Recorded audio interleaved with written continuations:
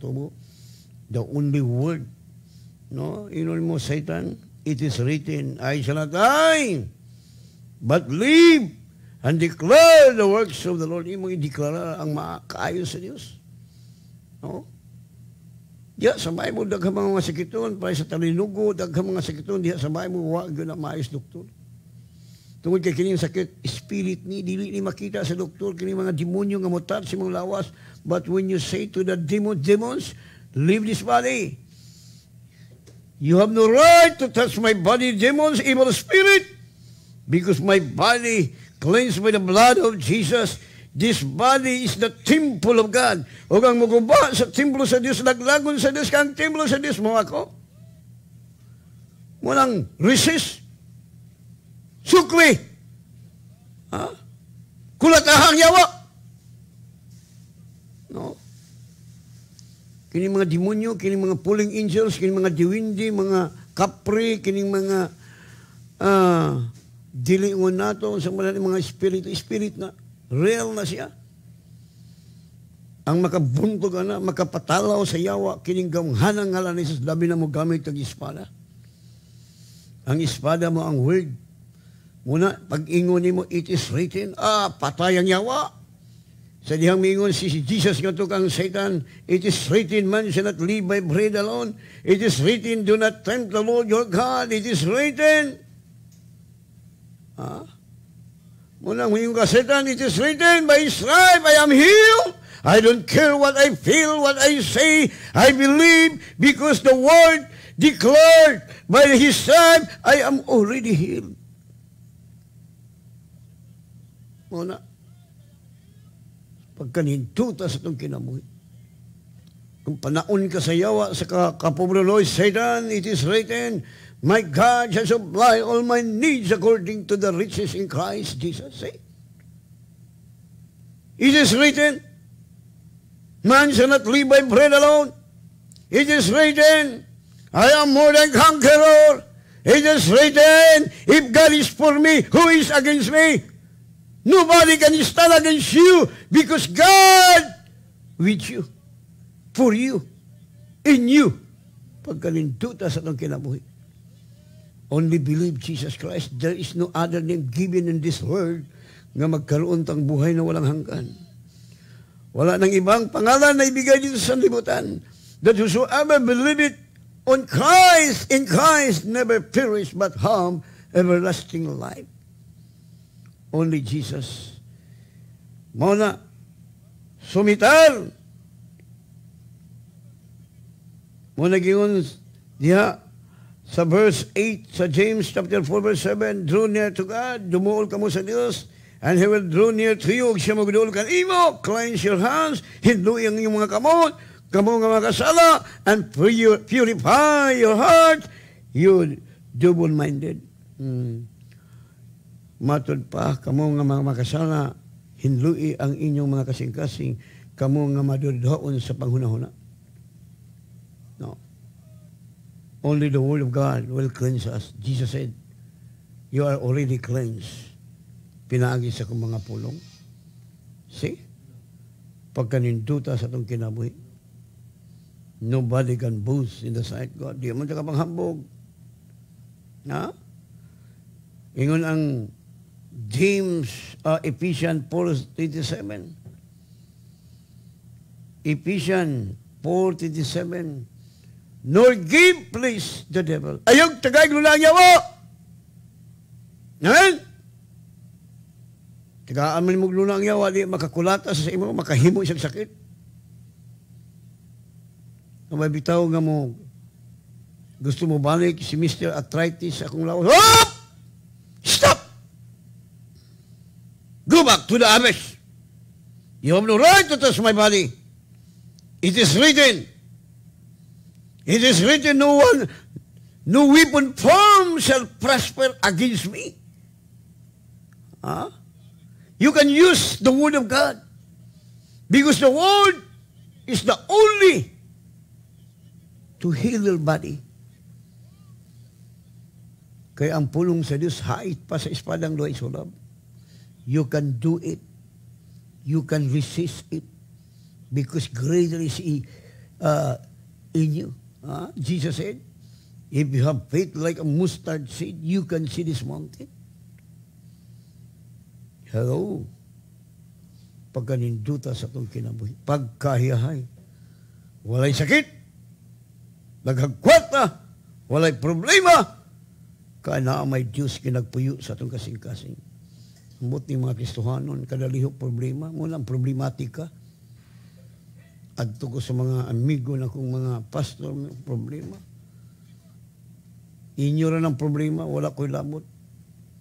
Because you did not believe what the word says. Anak ka sa Diyos. Jesus said, My peace I leave with you, my peace I give unto you. Say, it is written, Satan, I have peace from God. No one can distract me.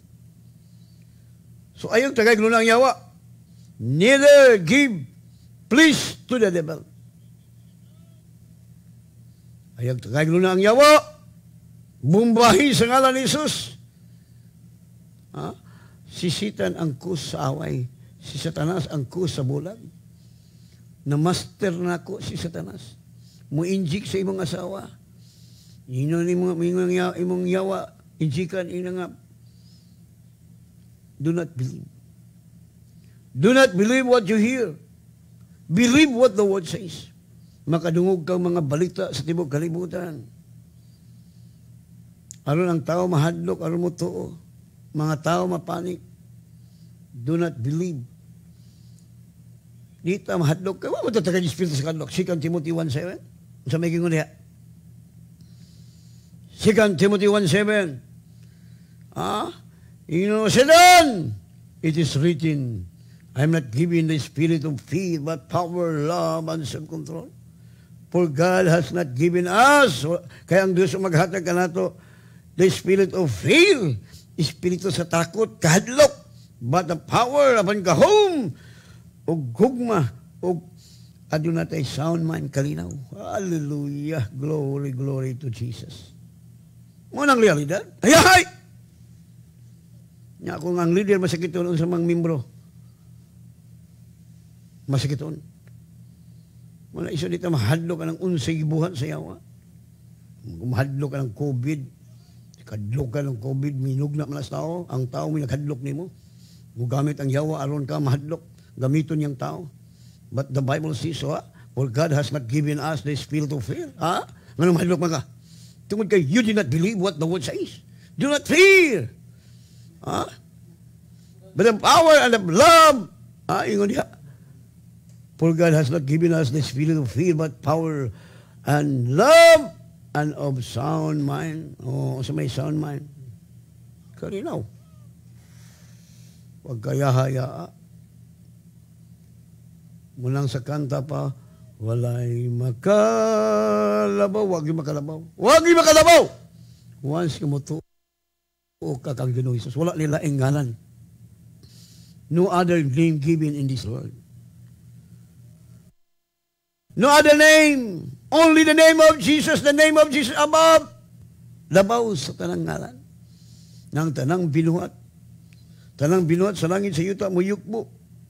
Tanang ngalan mo yukbo. Nga ngalan ni Jesus kamhanan. Mga demonyo, mga kamatayon, si Mr. Kamatayon mo yukbo. When you say to the spirit of death, leave this body, death. Ah. Sultian lang nimo. Brother and sister, do not fear. Sulti ang imong kaugalingon. Ayaw kadlok. Be bold. Be strong. Ah, gusto sa Dios nga di ta mahadlok. Di siya malipay siyang anak nga talawan. Kay siya nga itong amahan, walay pagkatalaw, walay pagkahadlok. Gusto sa Dios ng iyang anak liwat. Amen? Wala. Ako gani. Lip, lipay kay ko kung mga anak liwat na ko. Wapo guta. Gibuhat kita sama sa dagway sa Dios, di ba? We are created in the image of God. Wow. No, anak ta sa Dios, gilisto na sa Dios ang tanang Ang sala ni Adan, na nakomit nga gitawag kinig high treason gihinluan na gipasraylo na through the blood of Jesus Christ nga giula dito sa krus. That's why Jesus said, it is finished. Tapos na. Wala nang magawa ang Diablo. Binayaran ko na ang lahat ng kasalanan. Gilisto na ko ang lahat ng mga bagay. No? Katulad ni Adam, sa wala pa makasala si Adan o si Iba. Muna ang atong relasyon sa Dios. Nga kita, uh, once gusto sa Dios nga, we walk in the Spirit.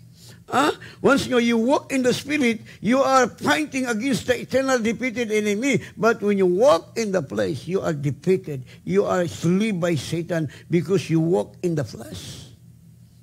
What the Bible says, when you walk in the flesh, the result is death. Muna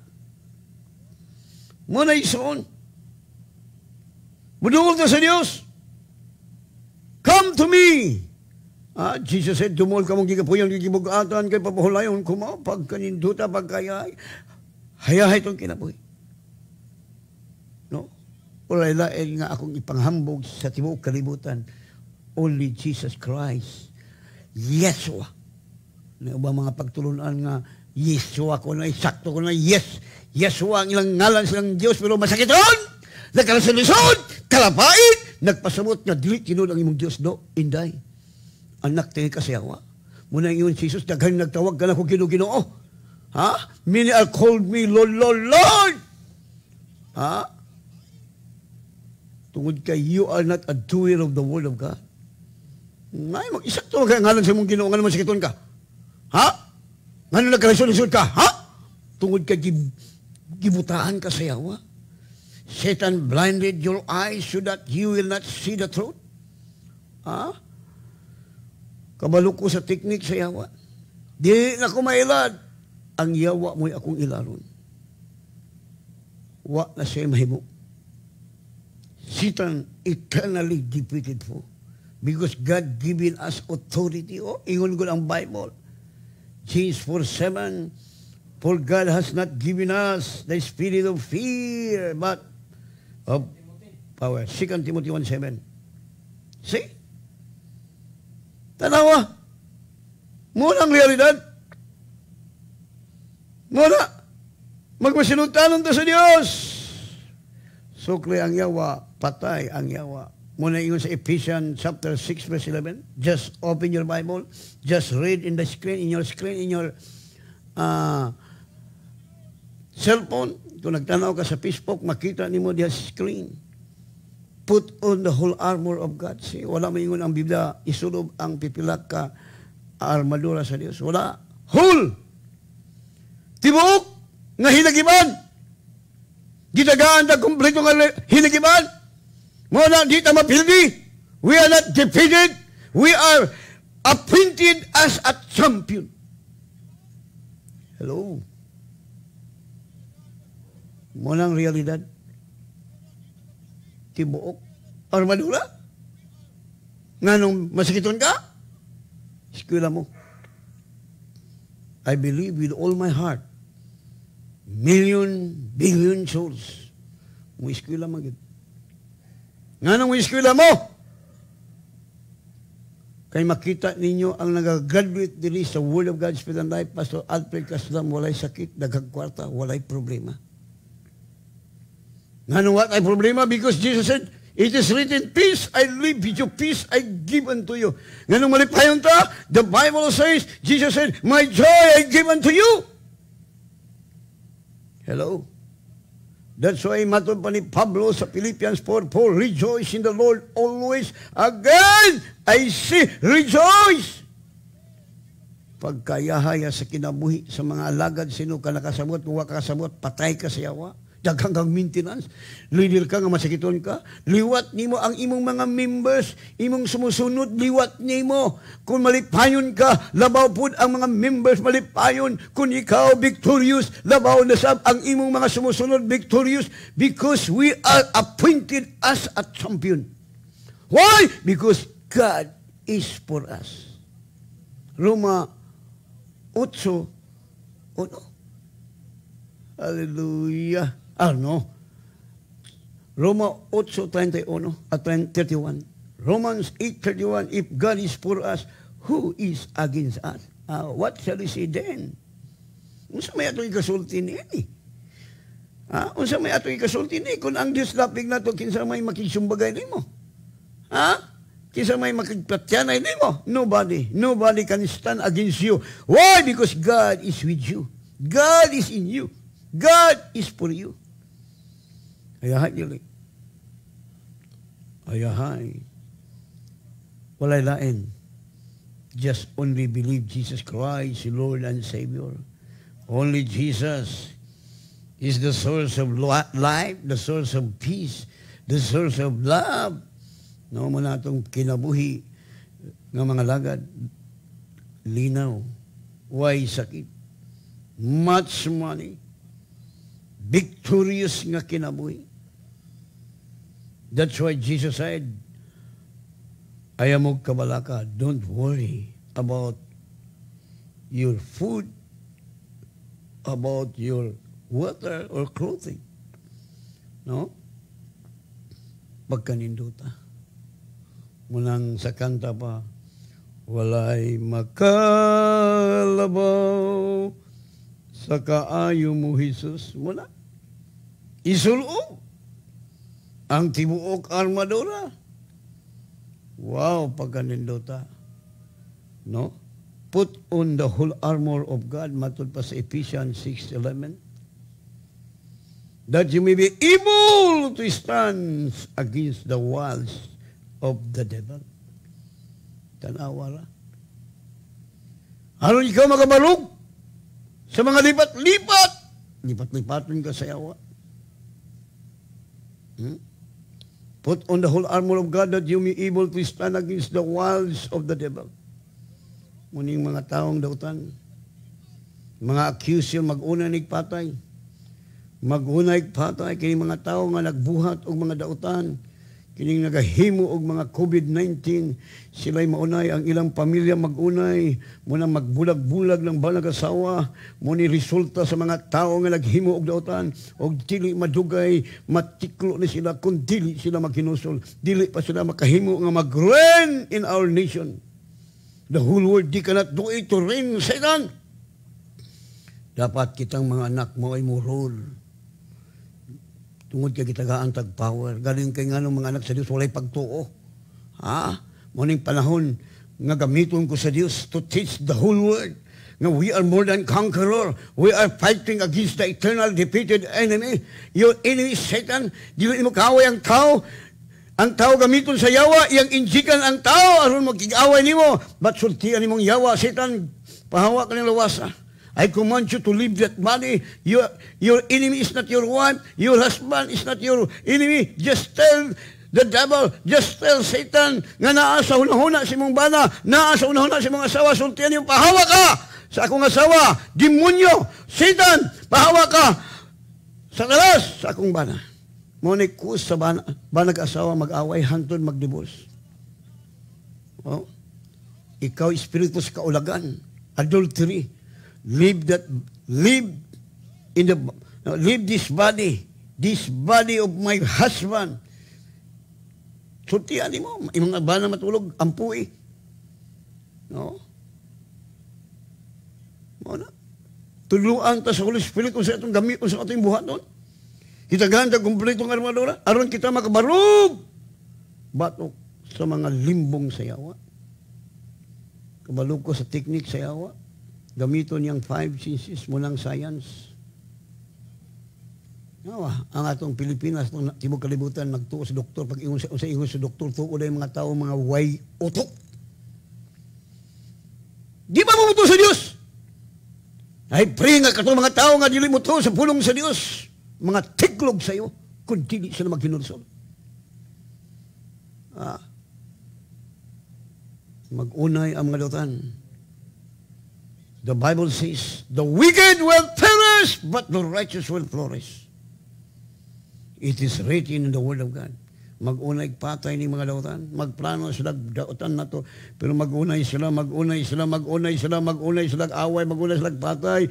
In the mighty name of Jesus ng mga tao nga gigamit sa yawa sama ni Judas, gigamit sa yawa si Judas. Nganong si Judas dili kaaway ni Kristo, mingon ang yawa, Satan, it is now the time that you have lot of money. Just for sale your, uh, your master, your teacher, just for sale. Uh, gay, gay, gay. Because this is now money. Well, the Bible says Satan entered to Judas. Munang gibaligya ni Judas si Jesus. O sa dihang igawas si Satanas ni Judas, nagbasol siya, naghikog siya, uwa siya kamasaylo siyang gibuhat. Mo sa ni may tamo sa mga tao nga gigamit sa yawa, kung dili sila maghinulsol, maghikog kini mga taong accuser batok na to. Maghigog, maghigog, sama sa kinabuhi ni Judas, maghikog. Kay nagpagamit sila sa yawa. Muna nga di mabalaka. Dili na to kaway ang tao. Ang yawa mo'y nag-inject niya. Ang atong mga leaders, atong iampo nga dili injikan sa yawa, ang atong mga leaders. Tanawa nga atong mga leaders karon nagkaguliyang tungod aning COVID, nga mituo sila sa doktor, mituo sila sa sayan, wala sila mutuo sa pulong sa Dios. Muna nga ang ilang pagdumala sa atong nasod mga leader, nga palpak, nga palpak because of COVID-19. Ah? Palpak. Palpak. Dakog damage. Ah. Tungod kay dito sila nituo sa doktor. Wala sila mutuo sa Dios. Kay kung nituo pa unta, walay damage ang atong Pilipinas. May gani kay ang uban, wa gyud mo tuong ad, mo adto sa doktor kay kung niadto pa sa doktor nya kay ang yawa musulod man sa doktor moingon man ang yawa dok money na ni it is money Ah, ito na ang paraan magkaroon ng pera. Pira, pira, pira. You cannot blame the doctor. You can blame yourself. Nga nung pumunta ka sa doktor. Ah, wala magsabi ang Panginoon nga, pumunta ka sa doktor, tawagin mo ang doktor, tawagin mo ang Panginoong Diyos, tawagin mo ang Pangulo sa Iglesia. Hello. Yes, ang mga doktor magatabang. Pero, pero sakit gani nga mga espiritu, di na na madalas doktor. Mahulot na ng imong kwarta sama sa babae nga talinugo, naubos ang kanyang pera sa maraming mga uh, doktor. Yun nga sinasabi sa Bible, hindi ako nagsasabi. I will tell you the truth. I will not speak my own uh, authority. I, I speak what the word says. No? Muna palpak ang atong mga leaders tungod kay ilan ang gipugos ang mga tao pag vaccine. Na, do you think na magkaayo ng vaccine? No! Only Jesus! Tanawa, kanong pila ka adlaw, wala. Sugod na. Mag-una nagpatay ng mga taong lautan. Pero kita ang mga anak sa Diyos, God knows how to save the righteous. Tanaw itong accuser na ko. Nag-accuse na ko nga nagprograma sa RPN. Tulo sila kabuok sa lalaki. Ingon siya. Ah, katong pastora, hinapi kayo. Bisag COVID, simba, oh, Unya, ang imong espirida, nakayo ni mo, natiglo malagi ka. Tuwala to sa impirno, tingalay. Daghang mga taong ni-accuse na ako na ngamatay ang uban nga buang. Wa na kaila silang kaugalingon. Amigo kay nako pastor. Ha? Suod na akong pastor. Pasak, musakay ko, iya kumplitihan ka, ko'y kwarta sa una. Nanaway man ako.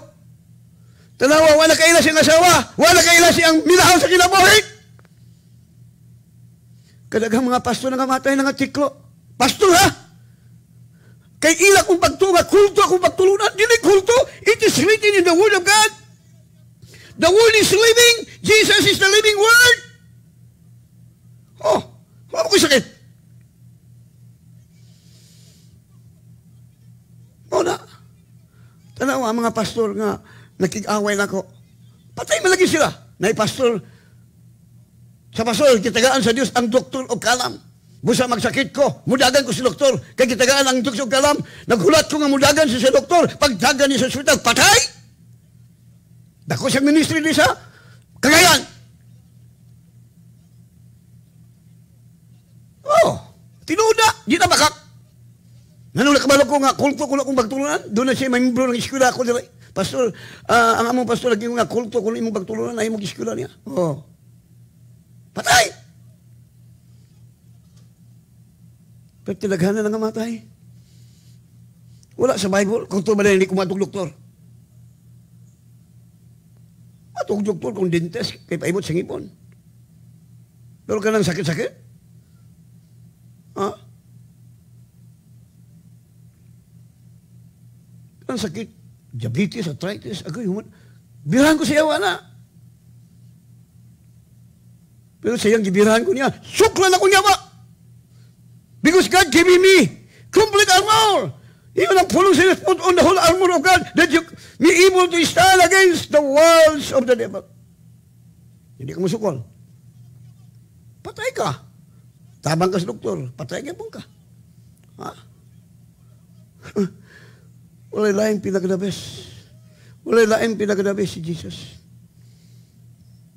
Muna akong kinabuhi, super hayahay. Uban sa kong asawag mga anak, uban sa mga membro sa Word of God, kaya muliwat man sila. Muliwat. Wala mo kumilong kambal. Ah. Nagpaibot nila kong ibon, kaya di, sultian ni mo, di pa sultian ako, tanang ngipon ako mga tangtang, mga tangtang, pero na pa may nabilin, kung nga, di pa man, kay, pabutang tagngipon. Dumay mga doktor ay magbuhat sila na makatabang man na pero kanang sakit magulig suon. Para sa ngipon, sakit imong ngipon. Kabalo ko na simple man na kayo, nga sakit. Ulod na nga nag pagsultian ni mo ng ulod, ah, wala na yun. Hmm, Kasi natin ko na ako misis sa una, grabe, manghubang yung dagway. Ampo ko ikaw sakit sa ngipon, tanan, wa mo maayo. Pagka nakabahuan ako nga espiritu sa ulod, ah, wa, nakabalik. No more pain. Yes. Muna makasulti ko sa tibok kalibutan. Makatudlo ko. Tungod kay akong na-encounter kining mga buhat sa yawa. Agi na kong kay kong kaon. Kaya wala tayo pagtuo. So, ang gusto sa Diyos, only believe na, only believe.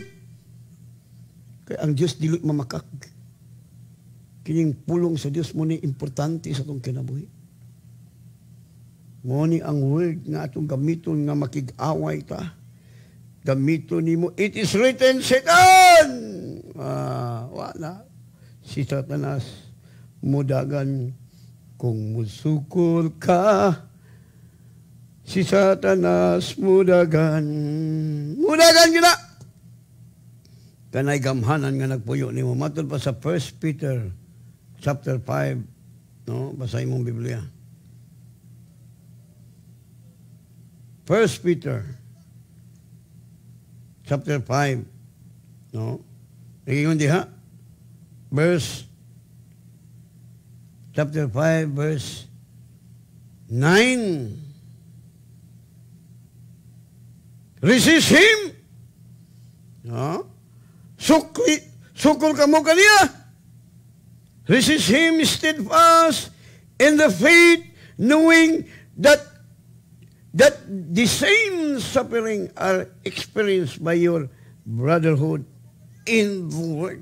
Ah, matod pa, sukol, sukol kamo kaniya, ingon nga kamo, ligon sa inyong pagtuo, sa nahibuluan ninyo, nga samang mga pag-amtos kinahanglan kayod, masinati ninyong tanan, nga kaigsunan nga aniya sa kalibutan. Masinati yun na to, nga musukol ta, ug makita na to, nga ang atong kaaway perting piliruha. Masugod ta sa verse 8. Ingon sa verse 8, no? Ingon ang ver- verse 8, ah, sug- sugod ta sa 7, 7. Ingon sa 7, casting all your care, care upon Him, for He cares for you. Sa kano, itugyan nga to kanya ang itanang kamalaka kay siya nagatiman kanimo, kaninyo. Wow. Sa verse 8, pag maigmat, be sober, be vigilant, because your adversary, the devil, ang imong kaaway mong yawa, as ruling lion ingon sa, ah, ruling lion walking about seeking whom he may devour. Ah, pag maigmat, Pagbantay, kanunay, ang inyong kaway nga mawang yawa, naglibot-libot sa masaliyon nga ng ulob, og nangita og iyang matuko. Verse 9. Wam resist. Gay nga matong tayo ako na pasumabin sa inyo. Sukol kamo kaniya.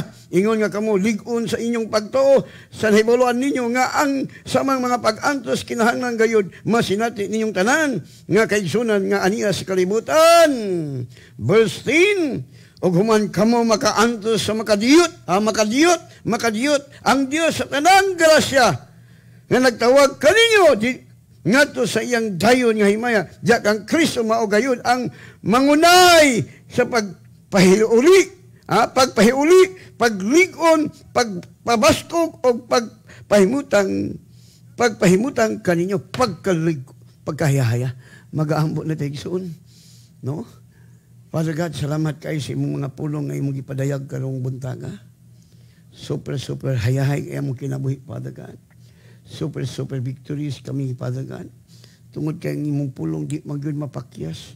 Ngamot tuo kanimo, di yun magmahay. Di maulawan. Lord, salamat sa imong pag-bless sa tanang listener. Thank you sa imong nagatamon ka na, sa mulunda nga nagakoral ka nila. Nga bisan asa sila magtrabaho, magnegosyo. Safety lang kinabuhi. Tungod kay nabais ka magbalantay. Huwag makulang na mo, Lord. Lord, ako ituboy, Lord, ang mga tao nga imong gigamit sa laing mga lugar, laing mga nasod. Lord, I pray in the name of Jesus nga mobalik sa lang pano hundredfold, musamot sila kadato, musamot sa ka-millionaire, tungod kay ang imong pulong nagdeklara that you will open the windows of heaven and you will rebuke the devourer. So Lord, salamat nga wala na idapik nga kabutangan ng akong mga igsoon. Mahimo kaming ulo, we are the head, not the tail, because we obey your word. O salamat, Lord, sa mga igsoon. Lord, salamat nga imong gitubag ang akong pag-ampo nga sa dili pa mo balik. Salamat sa billion, billion, billion, billion souls, mga kala nga imong ipadala sa Word of God, Spirit and Life, Pastor Alfred Casalam. And I will teach them, we will build, we will equip them, we will train them, we will make them your disciple. Kaya Lord, salamat kayo ning kabuntagon nga magadawat na pod mig mga salapyanong panalangin, bulawan, kwarta, because you were declare the, the wealth of the wicked is stored up for the righteous for me. Thank you, Father. All the glory belong to you. In Jesus' name we pray. Amen. And God bless you.